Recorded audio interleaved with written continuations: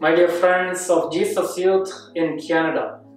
I'm excited to speak to you from St. Joseph's Oratory eh, from Montreal.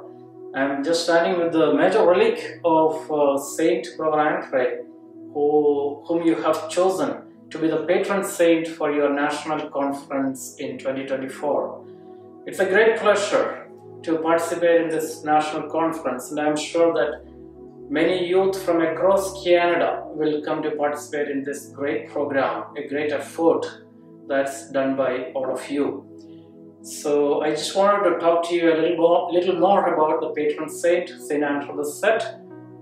Here is a reliquary, the major reliquary. This reliquary was made in 2010 at the time of the canonization of Brother Andre. And this reliquary has gone to so many dioceses and parishes and schools and colleges across Canada and the United States.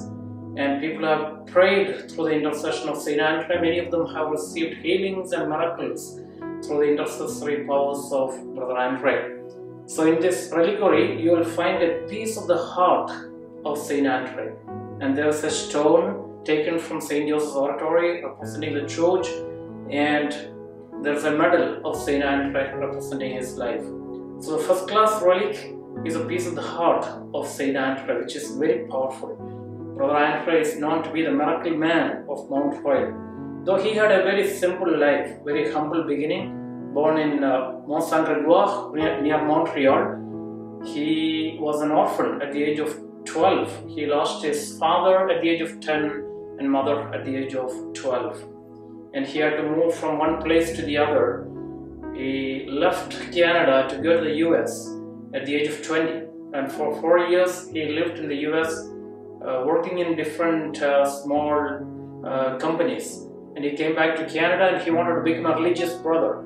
At the age of 24 he entered into the congregation of Holy Cross and from there he became a doorkeeper of one of the colleges in Montreal and he remained there as a doorkeeper for 39 long years and millions of people gathered around Brother Andre to pray with him and he always prayed through the intercession of Saint Joseph and so that's why he wanted to build a church, chapel for Saint Joseph which gradually became the largest church dedicated to Saint Joseph in the world and that's Saint Joseph's Oratory in Montreal. As I speak to you from here, from Saint Joseph's Oratory, I want to send all the blessings for the national conference. But I want to tell you that we are going to send this small first class relic to all the units uh, of Jesus Youth across Canada. I think there are more than uh, 27 units, so this relic will come from here to all the units to pray over.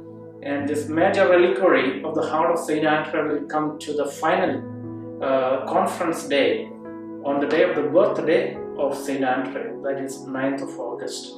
So we will have a healing celebration and session, anointing and healing and uh, thanksgiving to God for Saint Andre on that day of the conference. So I invite all of you to come with your families to participate in the national conference uh, of Jesus Youth in August, and I'm sure that it's going to be an amazing time together with Saint Andre Bessette. It's going to be an amazing time of youth living uh, our faith.